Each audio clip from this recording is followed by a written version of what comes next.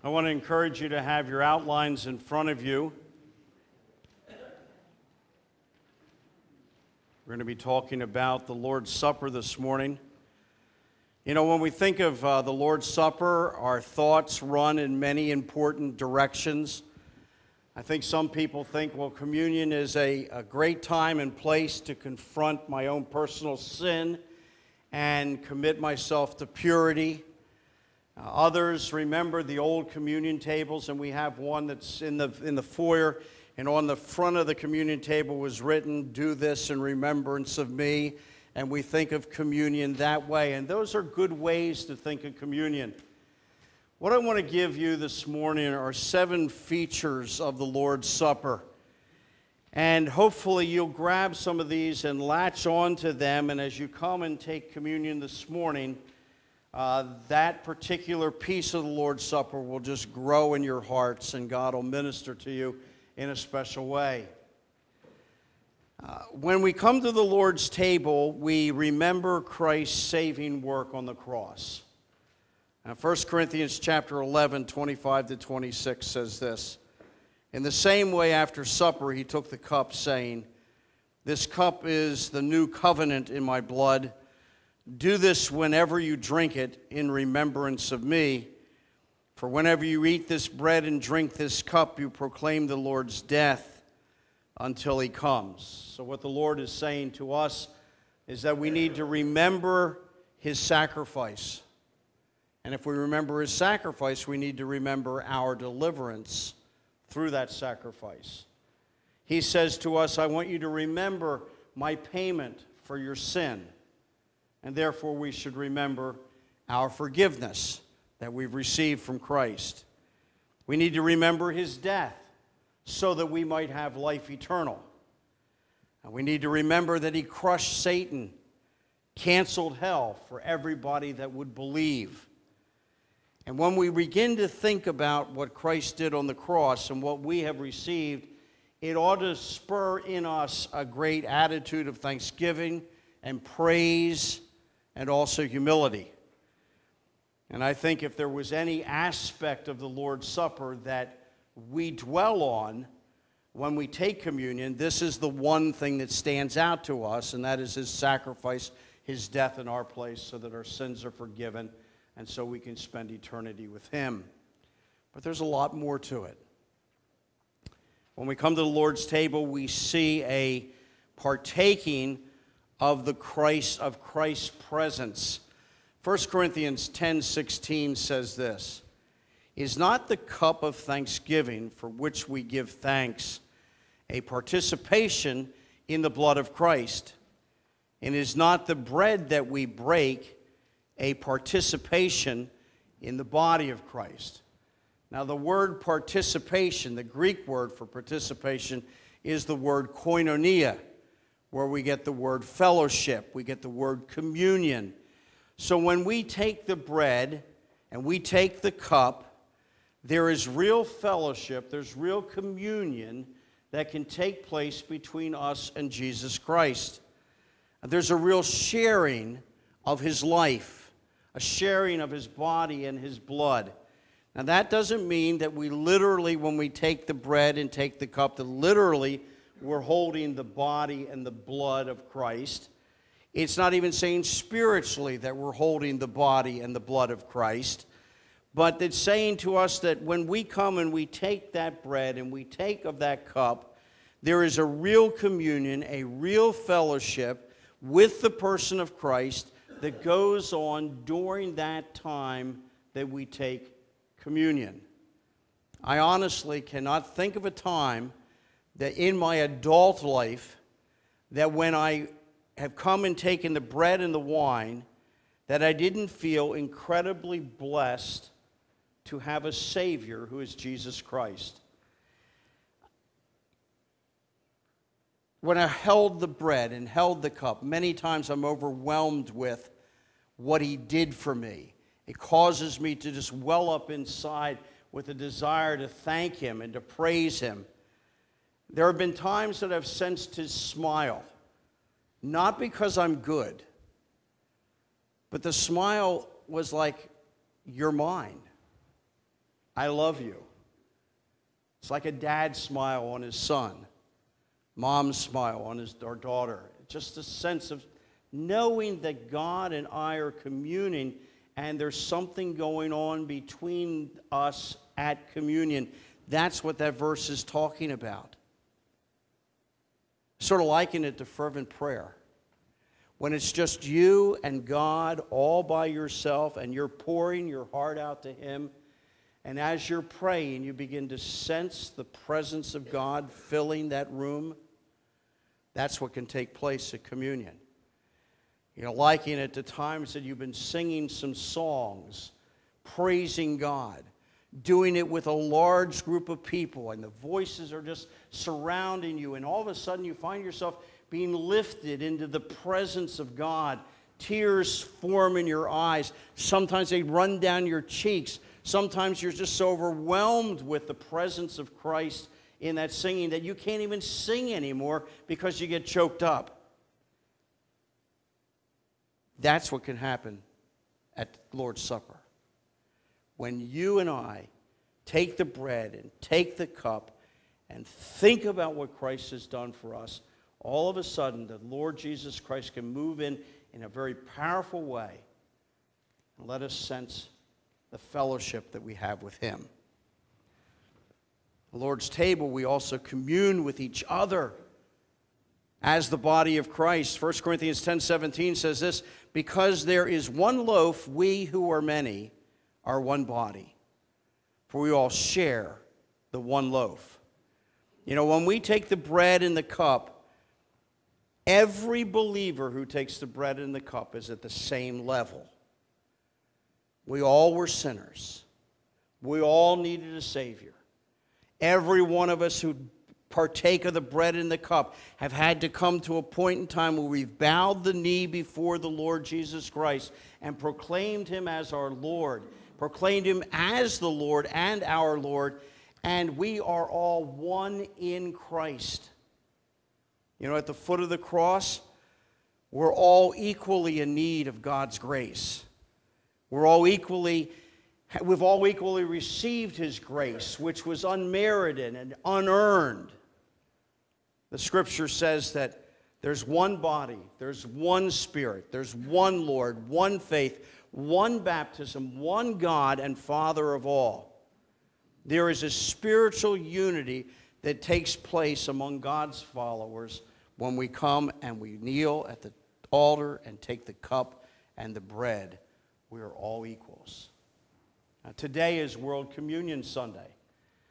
That means that today, maybe a billion Christ followers are going to gather at an altar. They're going to take the bread, they're going to take the cup, they're going to hold it in their hand.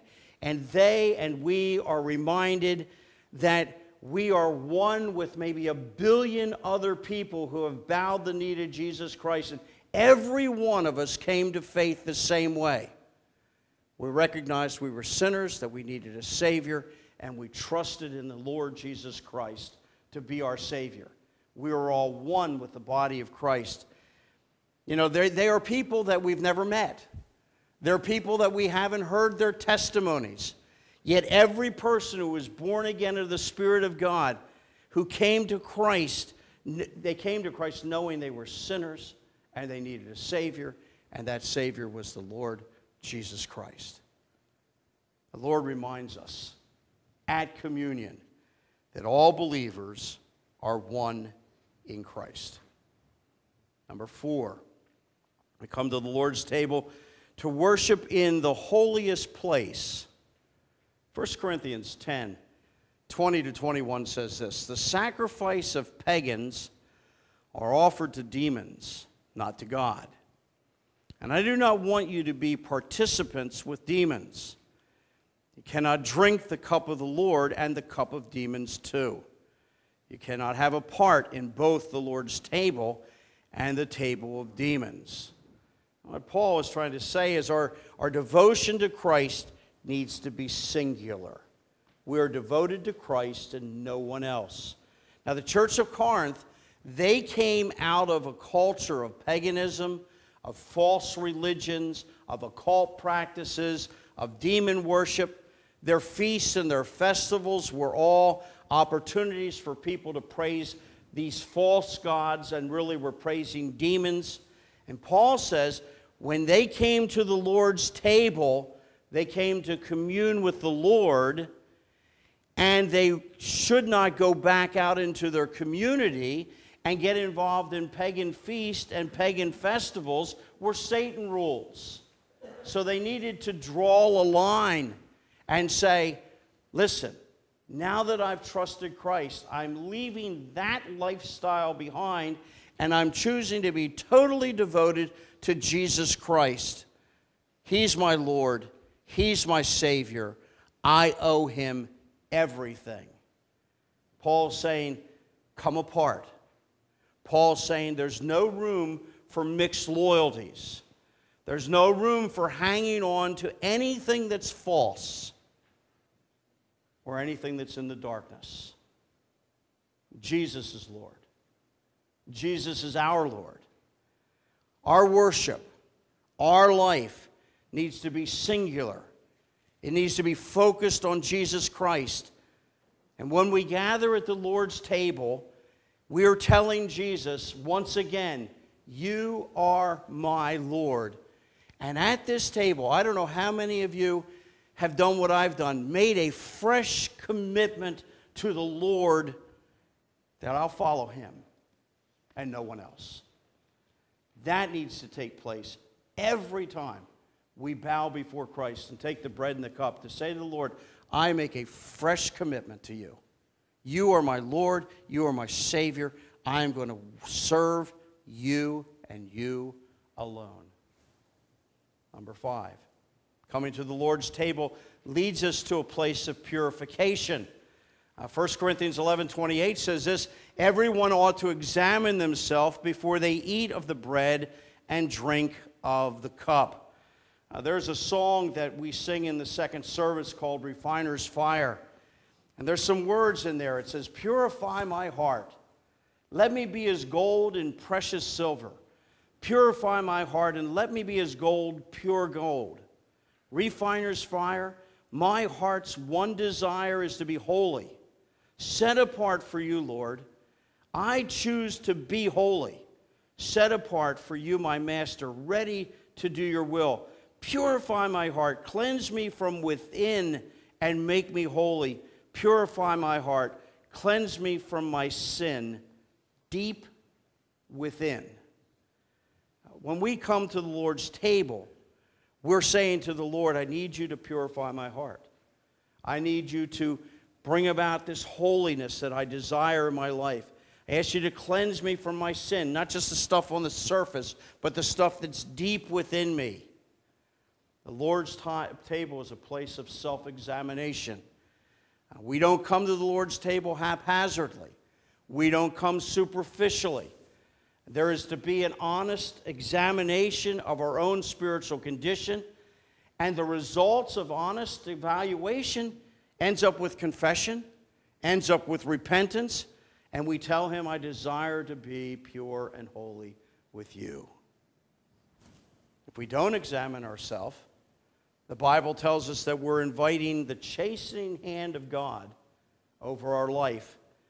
Now, many times the chastening hand of God is simply that God doesn't restrain the results of our sin. Other times, his chastening may be that he brings weakness into our life or sickness into our life, or even premature death. I would say it's a good reason to have communion on a regular basis, and to have it often, so that we can sit back and say, God, am I right with you? Am I clean? And I want to let you know something. If you say to God, as you kneel here, God, is there anything that I need to deal with? I will be silent and listen. If there's something He wants you to deal with, you will hear it like that. You will know it almost before you say, Lord, what is it that I need to deal with? You will know it like that. And if God does it like that, we ought to immediately repent and get clean before Him. The sixth thing is the Lord's Supper's proclamation. 1 Corinthians 11 26 says, For whenever you eat this bread and you drink this cup, you proclaim the Lord's death until he comes. So we proclaim the cross, we celebrate the cross, we joyfully proclaim that the Lord gave his body and his blood for us on the cross, and we proclaim that the cross is, has brought about the new covenant. You say, What is the new covenant? I know it says right there, this blood is the new co- or this is the new covenant in my blood. What does he mean by new covenant? You ought to write this down. I don't think you have a problem remembering it. I think it's clear as day. Here it is. I will forgive your sins for all time. No more sacrifices. I'll forgive your sins for all time. No more sacrifices. Jesus' death was the last sacrifice and he gives total forgiveness forever.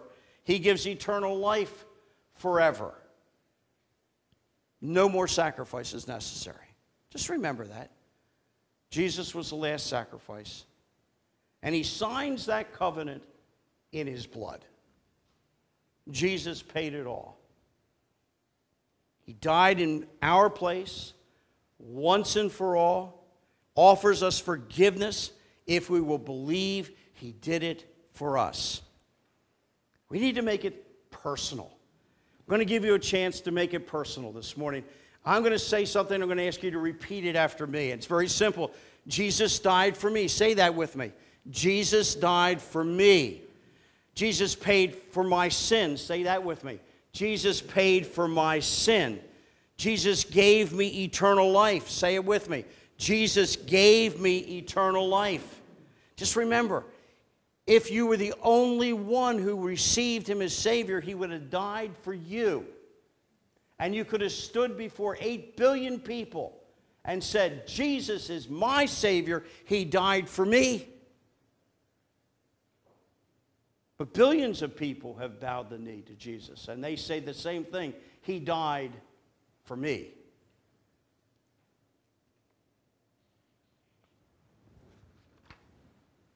Number seven, the Lord's Supper anticipates the kingdom of God. The Lord's Supper anticipates the kingdom of God. Now, let me just give you a little background here. Jesus is spending the Passover with his disciples. It is the last time he's going to take the Passover meal with his disciples. He's sharing that Passover meal, and during that meal, he replaces the Passover meal with what we know as the Lord's Supper. He breaks the bread and he tells them that this is his body for them. He takes the cup and he says, This is his blood that is poured out for them. He talks about the new covenant. And then he says in Matthew chapter 26, verse 29, he says this I tell you, I will not drink from this fruit of the vine from now until the day when I drink it new with you in my Father's kingdom. Jesus instituted the Lord's Supper. He anticipated the coming kingdom of God on the earth, and he said he wouldn't participate in the Passover meal or the Lord's Supper until the kingdom of God came on the earth. And the kingdom isn't here yet. But one day, one day, when you and I are in the kingdom, and the kingdom is populated with people that God has said are worthy to enter into that kingdom. Christ will sit down with you and with me physically, and he will take the Passover meal, which looked forward to the cross, and he'll take the Lord's Supper, which looked back at the cross, and we will celebrate the full redemption of God's plan of redemption for you and me. We'll celebrate it. Jewish people who will be there, will have been resurrected, will say, Ah, that's what the Passover was all about. And you and I will sit back and say, Whoa, wow, did you ever miss it? you know, and, uh, but we will celebrate that together. There is a coming kingdom. And we're going to celebrate the Lord's Supper and the Passover meal with the Lord Himself. Let me just encourage you to uh, take this message and Think about what we talked about. The Lord's Supper helps us remember the saving work of Christ on the cross. It helps us celebrate our fellowship with Christ and with other followers of Christ. It helps us worship solely devoted to Jesus. It leads us to a place of purification. It proclaims the cross and it helps us anticipate the second coming of Christ and the establishment of his kingdom on the earth. The Lord's Supper is a blessed, blessed event.